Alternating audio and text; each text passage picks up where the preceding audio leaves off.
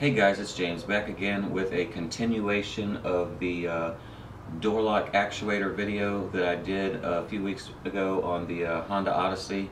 Now when uh, diagnosing this problem I actually ran into a few hiccups because there was actually multiple failures. Uh, initially thought it was just the door lock actuator that was uh, causing the uh, driver's side door lock not to function correctly um, but you know, upon further investigation, realized that there was actually a continuation of that problem, or rather, you know, a multiplication.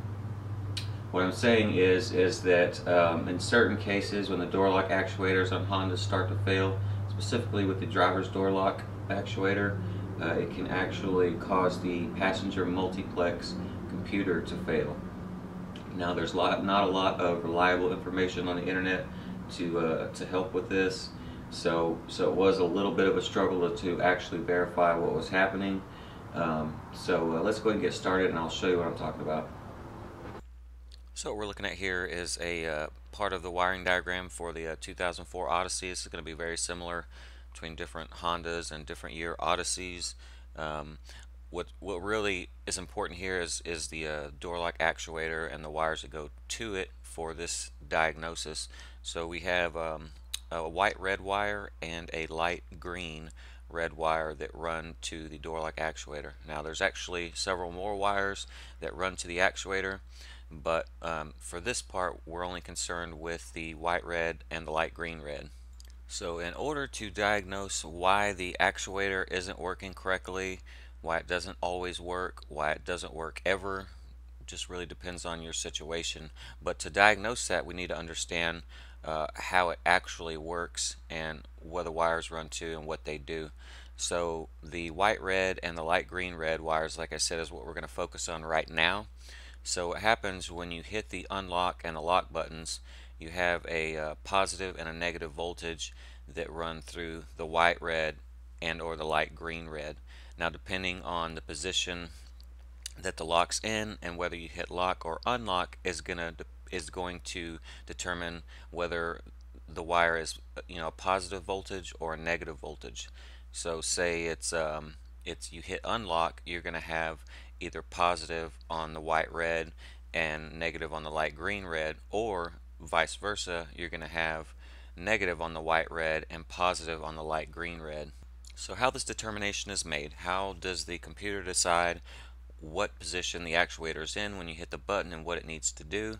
Well, there's three more wires on the that connect to the actuator, and within these wires, a signal is sent to the passenger's multiplex control unit to the computer um, that controls different things such as the door locks and windows and things like that. Anyways, so a signal is sent to the multiplex computer. It tells it what position the actuator is in, and when you hit that button, it'll know what it needs to do. So typically when diagnosing a door lock actuator problem, you want to get as close as you can to the actuator, uh, a sub harness or somewhere around the connector or even remove the connector altogether from the actuator and apply power and ground, see what happens. Another way is just to use a voltmeter and hit the button and see if you're getting power ground to the actuator. Um, the, we can't stop there though. So let's say we do remove the connector from the actuator and we apply power and ground to it and the actuator does what it's supposed to. We then reverse the connection, the polarity, and the actuator moves in the opposite direction. So if that happens then obviously the actuator is okay. Now typically on the on these Hondas if we're to this point, we most likely have found that the actuator is in fact bad. But we can't stop there. We need to look again at the white red and the light green red wires. So using a power probe, although you could just as easily use a um, voltmeter or multimeter, I probe the uh, white red wire first. So you hit the unlock button, you should see either a positive or a negative voltage you hit the lock button, it should reverse polarity. So unlock, lock, it should reverse polarity each time you hit that button. If that's okay, we'll look at the light green red wire. Now this one should do the same thing, but it should be completely reversed as what the white red wire is doing. So when we're probing the light green red wire, it should be the opposite polarity as the white-red wire. So when one wire is positive, the other one should read negative, and it will change every time you hit the unlock and lock button. So if you're to this point and you see that the voltages are doing what you would expect or how I just described, how they're reversing polarity every time you hit the lock and unlock button, then you know that the actuator is the only problem. So what happens if the voltages aren't switching the way they should be? Well, referring to the wiring diagram, we have a fuse, we have a relay, uh, there's the keyless security and, and all that good stuff. Um, so these are all things that you should check just in a normal electrical diagnosis. Um, the interesting thing here is the multiplex control unit on the uh, passenger side of the car. It is what I had the most trouble finding any reliable information about. Uh, there's plenty of information out there and lots of guesses on forums and things like that where people don't have any proof that, that, that this is what's wrong and, and all that stuff. Uh, but I actually found proof, actually uh, got to this point, and that's what we're here to talk about. Okay, so where is the multiplex control unit? Uh, it is here on the uh, the passenger side of the of the van or the car, whatever you're working on of the Honda. It's the passenger side uh, multiplex unit, so it's on the passenger side.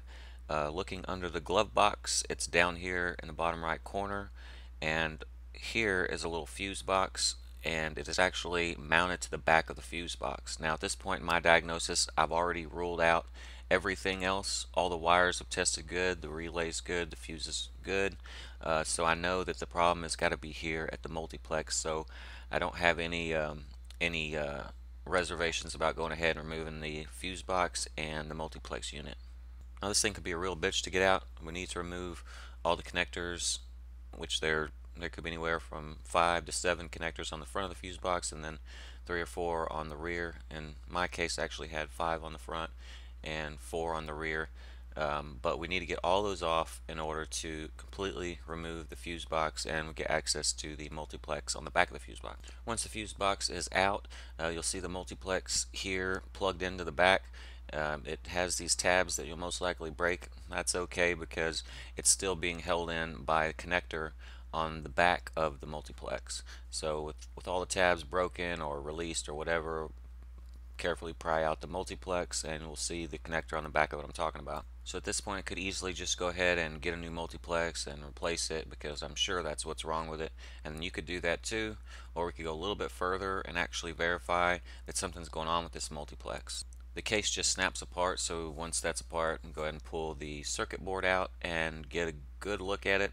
Uh, this one was really small and it, it may or may not be the same as what you're looking at uh, if it's not a 2004 Honda Odyssey EX, then it probably will be different, but it's going to be something similar to this. Now, in order to find what was actually happening here, uh, my solder components on, on my board were really tiny. I couldn't really see anything, so I had to take a picture with my phone and then zoom in really close to actually see what's happening. So to see what I'm talking about, you'll probably need to make sure you're in full HD at full screen because these things are real tiny and uh, kind of hard to see.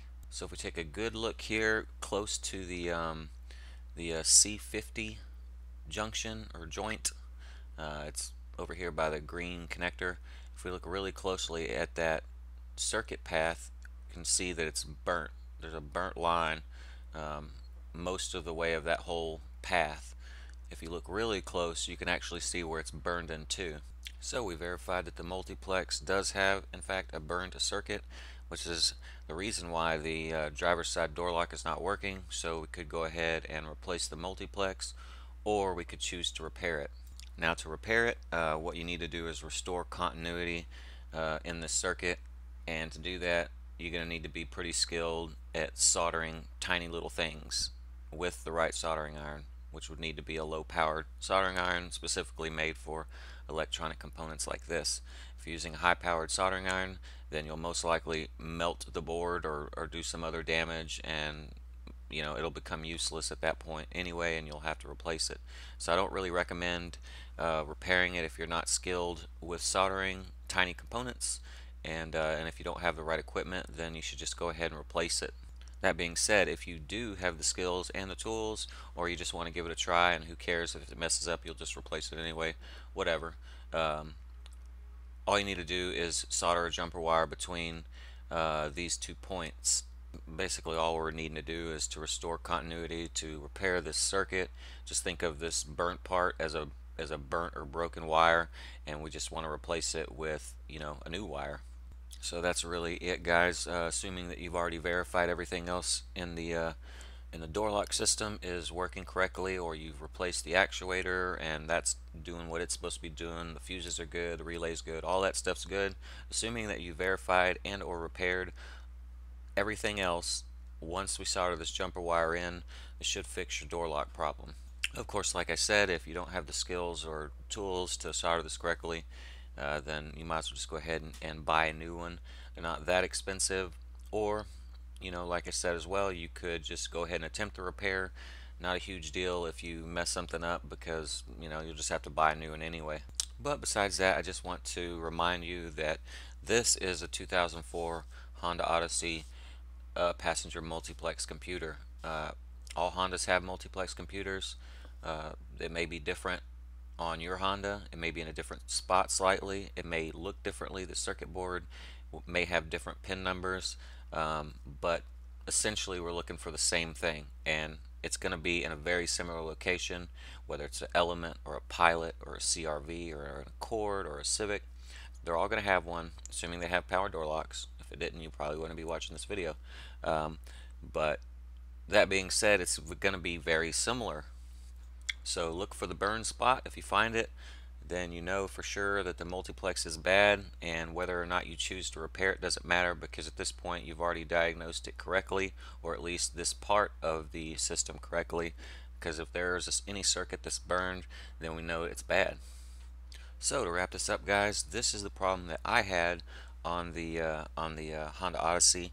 Doesn't mean it's going to be the problem that you have but from the uh, the research that I've done it seems to be fairly common that when the uh, door lock actuator goes out it can easily take out the multiplex computer. Um, I didn't find a whole lot of reliable information but just from kind of what I'm figuring is happening is as the door lock actuator starts to fail and the multiplex is trying to operate it, it probably builds up a certain amount of heat or uh, you know the current flow is, is increased or, or whatever what have you and it ends up burning it out. Now if the door lock actuator just fails outright and just stops working altogether it may or may not take out the uh, the uh, multiplex. I don't know. The, the point is is that it seems to be very common that when a door lock actuator goes the multiplex as well goes. So they should both be checked, but you know you should check the whole system. You know the fuse obviously needs to be good, the relay, all the basic stuff, broken wires and things like that. Um, but as far as uh, as far as um, diagnosing it, this is a not so quick, but relatively easy way to at least rule out the multiplex because you take it apart. If you see a burnt circuit, you know it's bad doesn't mean it's the only thing that's bad. Like I said, the actuator is probably bad too. Um, but at least it's a good verification and you can choose whether or not you want to repair it or replace it. Feel free to refer to the uh, door lock actuator replacement video. It's a full, you know, detailed video on how to replace the uh, the actuator on the Odyssey. Although it's very similar on all Hondas of this vintage and uh, Hondas, Hondas generally speaking. Uh, it'll be mostly identical on uh, pilots and elements and, and things like that and very similar across all Honda models. So as always thanks for watching and good luck with your repair.